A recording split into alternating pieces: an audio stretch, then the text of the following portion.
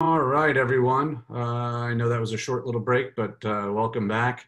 Um, so again, uh, Jim Way, Executive Director of AES, and we got a special treat for you today. Um, we have with us Mike McVetta, who is the Space Simulation uh, Facility Manager at the NASA Glenn Research Center, um, who's going to guide us through a virtual tour of the center's uh, electric propulsion and power laboratory. So, Mike, welcome and uh, great to have you here and take it away. Hi, Jim. Uh, thank you for having me here. Uh, you know, we we really like to show off our electric propulsion and power laboratory, and that uh, is certainly a challenge in these times. All right, excellent. We'll let it rip. Okay, so hopefully everybody can see my screen and my mouse. It's showing uh, up perfect in the webinar, Mike. You're perfect. Good. Perfect. You'll have to bear with me. Uh, you know, normally we do these tours in person, so uh, this is a little different. Uh, so once again, welcome um, to the Electric Propulsion and Power Laboratory uh, at the NASA Glenn Research Center. A little background on the area uh, that I manage. We have roughly 30 different vacuum facilities, uh, ranging from you know something that'll fit on your coffee table that's a foot in diameter and a foot long cylinder to uh, VF6 over here that is you know 25 feet in diameter and almost 70 feet long. So a, a huge array of different sizes and capabilities uh, at Lewis Field. So you know looking here, this is uh, standing in our high bay in, in the electric propulsion power laboratory. Uh, you know, VF6 is over here to your right. Um, right kind of in front of us is vacuum facility 12. It's one of our mid-sized chambers at 10 feet in diameter and 30 feet long. And we'll scroll over here to VF5. This is our most capable electric propulsion test facility. Uh, and we'll get into that uh, as we move inside. So welcome to the inside of VF5. This is uh, very unique. Normally we don't get to take people inside VF5 because uh, it's just not uh, very easy to navigate through. Uh, VF5 is 15 feet in diameter and 60 feet long. So I just spoke about the extreme capabilities of VF5. Uh, the, the big reason for that is it has the most pumping speed of any other chamber.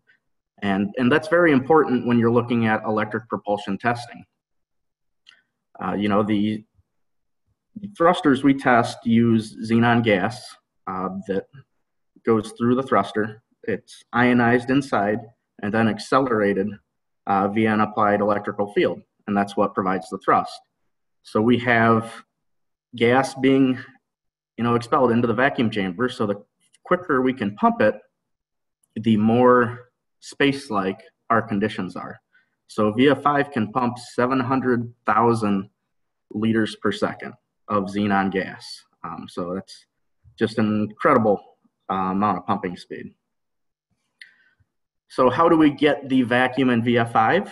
Um, we have eight different mechanical pumps um, that take out, you know, 99% of the air. And then when we have those last few remaining molecules bouncing around, uh, we have a cryogenic pumping system. So if you look up at the 10 o'clock and 2 o'clock positions, you can see these louvered um, panels. Those are our cryo pumps. So in operation, they run about negative 450 degrees Fahrenheit. So all those molecules that are you know randomly bouncing around in here stick to those panels, therefore reducing the pressure. Now, it's, it's very important that we can do that. Xenon gas is very expensive. Uh, it can range between 20 and I believe $50 a liter. So a standard tea bottle of xenon can be upwards of $100,000. So because we can capture it, uh, once we finish our test segment, we can actually recover that xenon and recycle it for a few dollars a liter. Just a huge savings to our test customers. So you'll also notice in the picture here that we have these tiled panels lining the chamber. Those are graphite. Um, it's the consistency of number two pencil lead. That is important because that is what protects our chamber walls. Uh, we actually had a, a different facility than VF5 where these panels were just kind of butted together. Uh, and when we were doing maintenance on that facility and pulled these plates off, it looked like someone had taken a die grinder and just cut a score into the cylinder wall because the high energy ions at, at exceptionally high speed uh, coming out of the thruster actually eroded away the chamber wall. So these panels are here purely for protection. They're, they're a half inch thick uh, graphite. So if we pan around here to the other end of VF5, this is our thrust stand uh, and diagnostics package. So generally the thruster sits uh, right here in the middle. Uh, this arm up top can move in and out and it's on a rotary stage. Uh, and, and, I have a really good video when we get over to VF6 of, of how that diagnostic package works.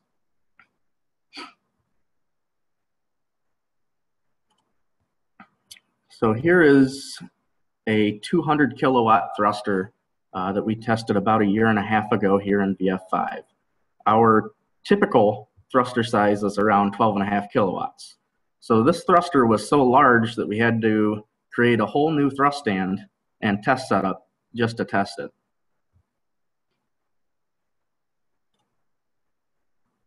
Okay, we're going to walk through VF5 and step out the other end of the chamber. So over here, nestled in the corner, we have VF13. Uh, this is one of our few facilities that are not um, directly related to electric propulsion testing.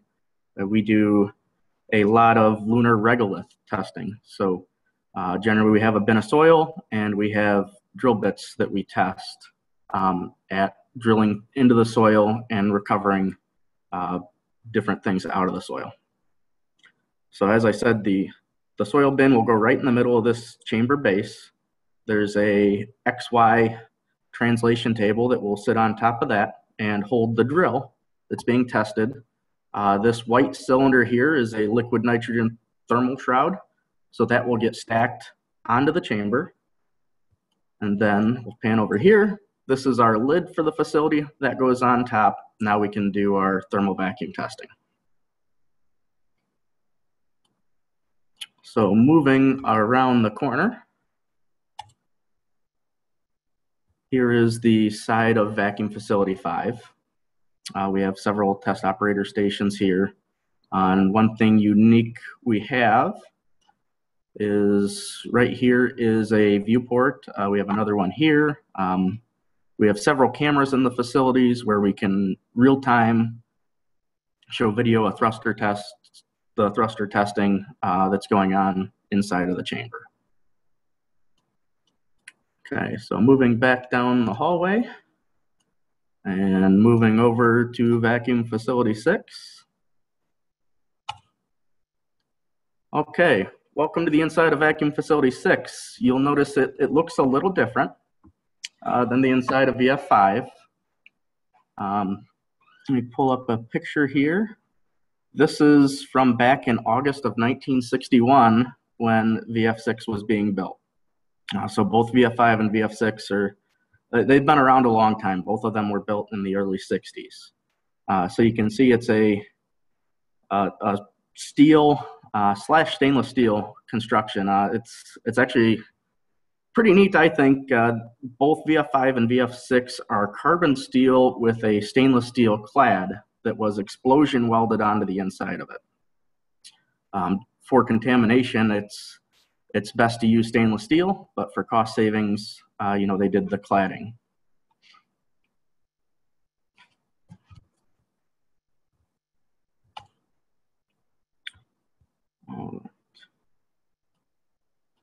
We got a nice little video here.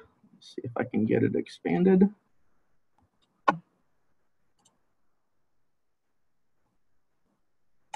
Okay, so you'll you'll, you'll notice here uh, VF6 looks a little different than the, the view we just showed. Um, this black wall here is a liquid nitrogen cooled thermal shroud. Uh, so VF6 is uh, uh, unique uh, in its own way from VF5 that it can do the thermal testing of space along with the vacuum.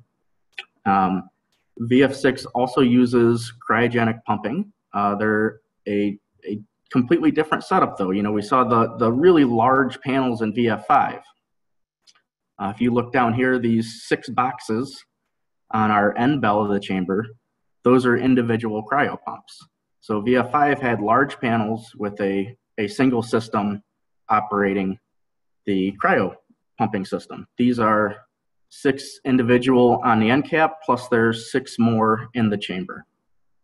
So because they are smaller, uh, we don't have quite the sporty performance we have a VF5, um, but we can still produce uh, very good vacuum levels and test reasonably sized thrusters in here.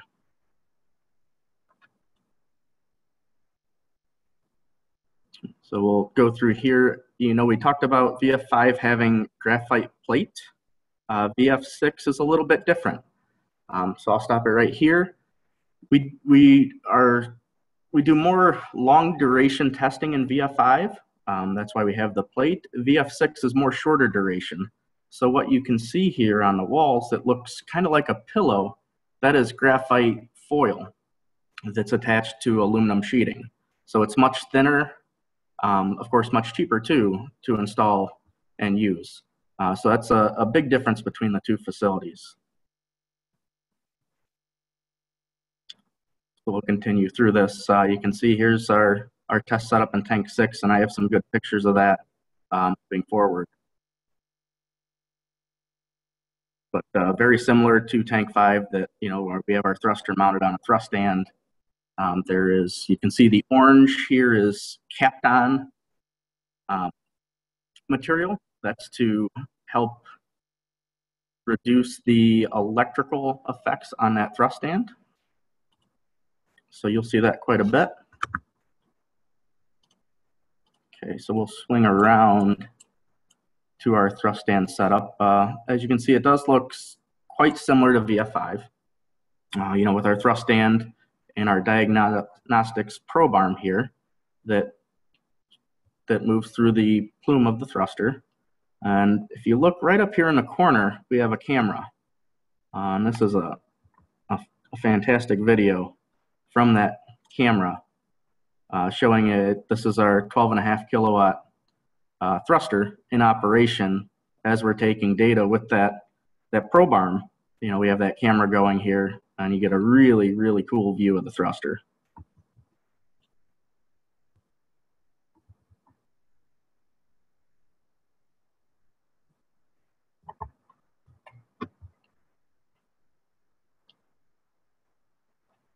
So there you go. That's uh, that's the speed the probe arm moves and, and taking data of that thruster plume.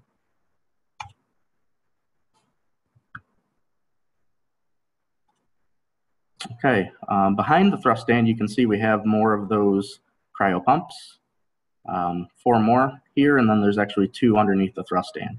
Uh, so it's a very nice, um, evenly dispersed uh, pumping system that leaves you with a, a very evenly um, distributed vacuum in the chamber. Okay, so moving back out to the main, um, do we have any questions? that I can answer for you guys. They're still on. Yeah. Hey, Mike. This is this Hi. is really cool. This is awesome. Thanks, man. Yeah. Um, so Thank yeah, you. you have a question, um, and this is from uh, actually uh, Al Tadros, who's uh, at one of our sponsors, uh, Maxar. Um, GRC has amazing facilities for SEP development. Um, can you describe the limits um, uh, is it 200 kilowatts or or how GRC might support even higher power NEP type systems? Um, and if they don't exist, are those in the works? Uh, so that, that's a great question. So that 200 kilowatt thruster really taxed vacuum facility five. Um, there's there's a lot of different uh, variables, and it's it's hard to really pinpoint a max um, you know kilowattage per se. Um, so VF5 was was almost to the point it was too small, uh, that it could not handle the thermal loads of that 200 kilowatt thruster. So running it at a very long duration uh, was problematic because we couldn't keep those cryo panels cold.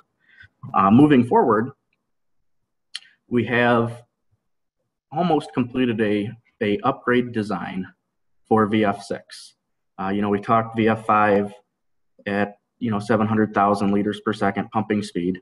Uh, VF6, of course, is, you know, five feet or 10 feet bigger in diameter than, than VF5. So we have, you know, we have more room for that thruster. And this upgrade project we've been working for a few years now is to add similar pumping capability of VF5. Um, you know, as I said, we have the 12 independent cryo pumps, and VF5 has the the one system supporting six cryo panels. Well, the design for VF6 is six cryo panels, just like VF5, with that um, one supporting system. So the the calculations we've done brings the pumping speed of VF6 up to um, just over a million liters per second. So that, of course, is something we'd verify uh, if and when we ever completed that project. Um, but we we are certainly hoping to get uh, the funding to do that because that would uh, really make VF6 a, a phenomenal uh, facility for electric propulsion testing.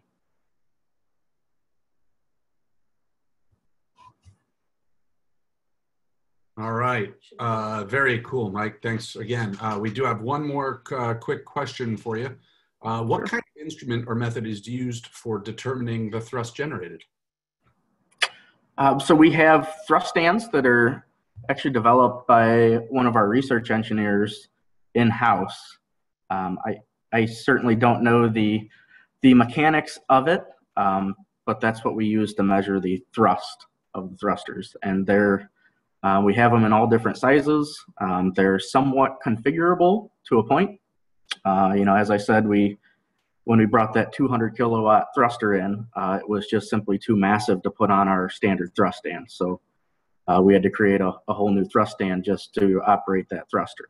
Um, the same goes for for smaller thrusters. We do uh, quite a bit of you know um, sub kilowatt thruster testing, and that's in much smaller chambers uh, with a much smaller thrust stand. Gotcha. That's excellent. Um, I'm not seeing any other questions. I'm not sure what else we got to cover here, uh, unless you had anything else. Right. Um, yeah, I wish I had some more more pictures on this virtual tour. You know, uh, this was kind of created for you know the general public to kind of see what facilities we have, not necessarily giving virtual tours. So Right. Um, right. Uh, well, hey, hopefully. Uh, you know, it's been great. Thank you so much. Uh, you know, we of course wish we could be there in person. Um, hopefully, 2021 we will be out there in person doing this uh, live and on the scene. Um, you know, this year just obviously didn't allow it for uh, uh, pretty obvious reasons. Right. So yeah, we're really looking forward to being out there next year. And hey, we thank you so much for doing this. Um, sure. Uh, we appreciate it.